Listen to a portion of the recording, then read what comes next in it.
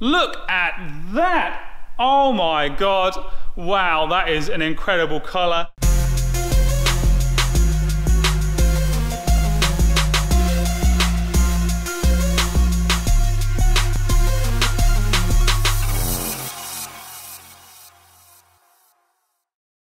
Doing body work, I have found out is extremely tedious for the most part you know, when you're trying to fill big areas and you're then going back over it again and again, it really, really takes its toll on just your motivation. However, today I bought some high build primer because I was ready to start working on the rear bumper. I'd got it to a point where it was looking good, but there were just micro scratches across the whole thing where I'd used a, a sandpaper that was way too aggressive and even though that this does look like a mess because it needs wiping down, I cannot believe the difference that that has made to the finish of my car. It is fantastic. You know, there were imperfections over the whole thing and I used uh, like a U-POL uh, primer. There's probably better stuff out there, but even so, I was able to get a real thick coat on. I was getting no runs in it whatsoever. And then coming to sand it down because it's high build, there's so much on there, it's taking out every single perfection. I am extremely happy with how that is coming out. I mean, it's not, it's not going to be a professional job. I'm working to a really tight deadline. I am trying to get it done as fast as I possibly can whilst achieving a finish that is perhaps you know 80%, you know, and an 80% finish considering where it was, I think is, is really good considering I would have done it all, my, all myself. I am dead chuffed with that. I think that that is that panel or that, that bumper done. I will wipe it down so that it is ready for paint and I will then just go back over it and make sure that there's no bits that I've missed. But I now need to work through the remainder of my car.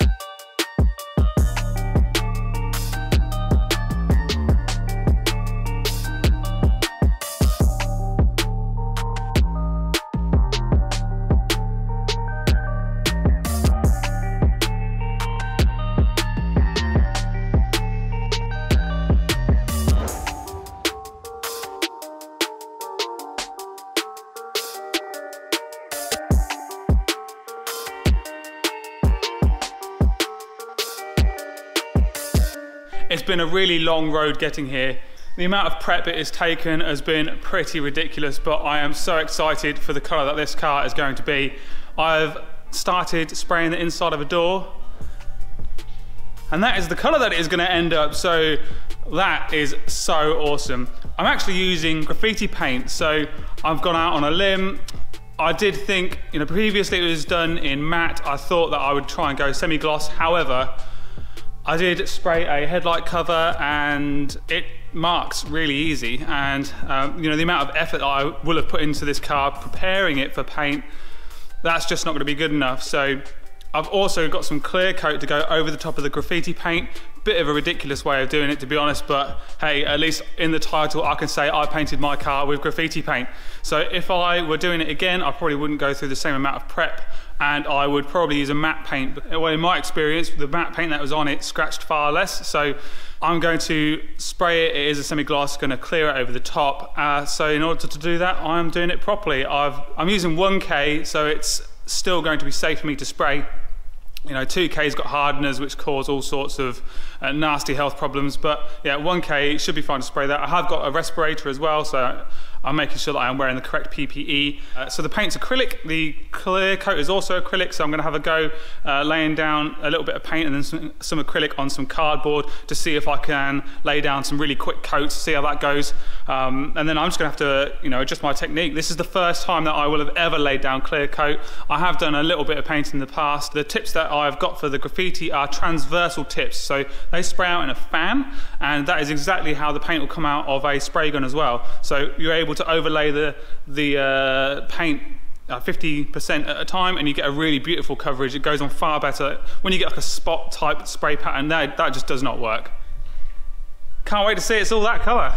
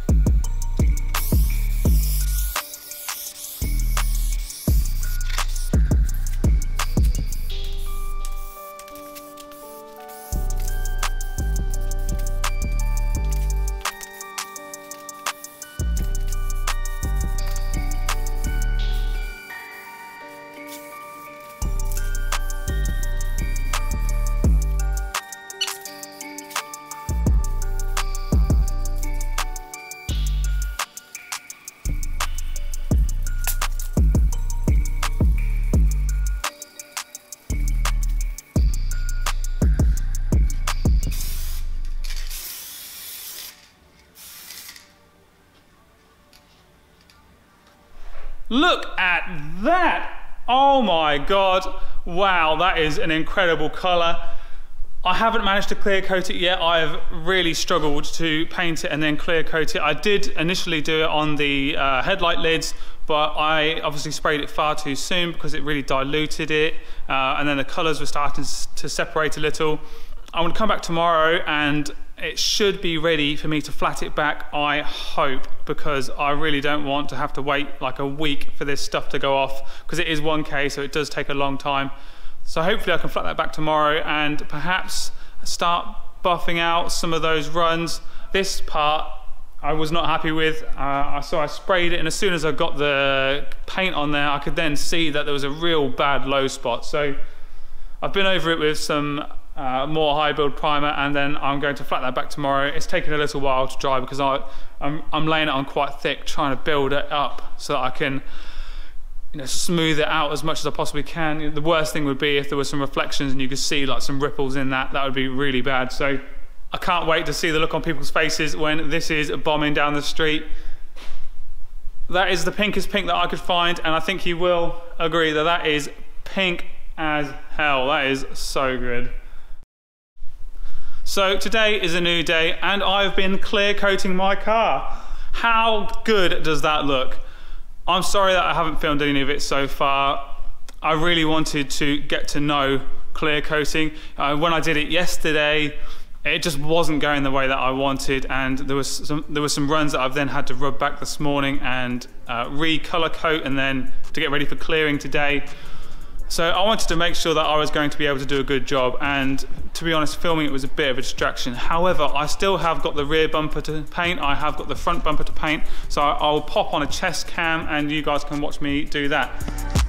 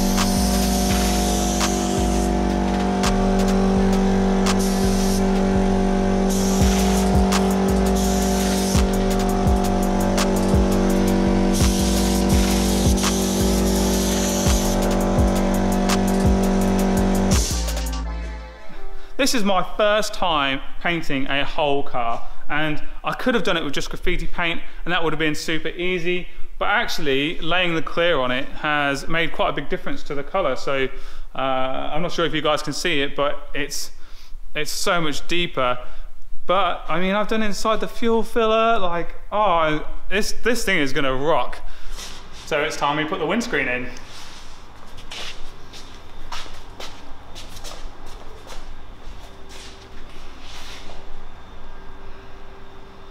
So there's a little white mark, which I think is the middle, which, and that looks like that's the middle.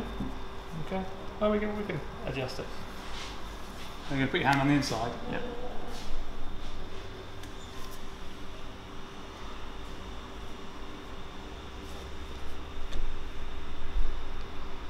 How are you looking? It's looking a bit far this way. Yep, soon. I can't see any spot wells this side. No, I can't hear. It's pretty consistent. You should come around and check. Yeah, less than a pinky. Very scientific. uh, less than a pinky, I think that's fine. Yes. It's got a windscreen again.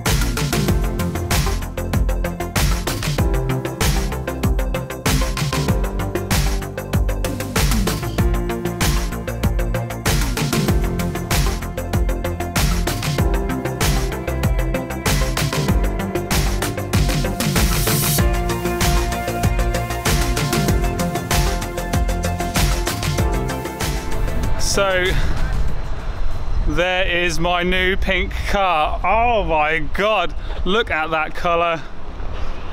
I am so chuffed with that. It is by no means perfect at all.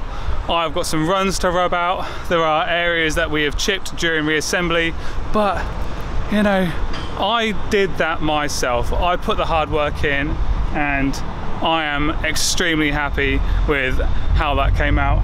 I mean, all the door shuts are done. I think I've said that before, but you know, in future, you know, if I hit any walls or anything, I can just replace the panel.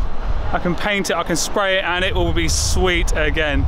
It's been a really, really hard and long process getting this done over about three weeks and evenings and weekends, been really slogging it out.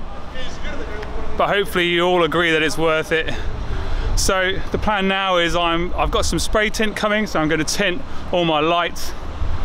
We might put a massive wing on it.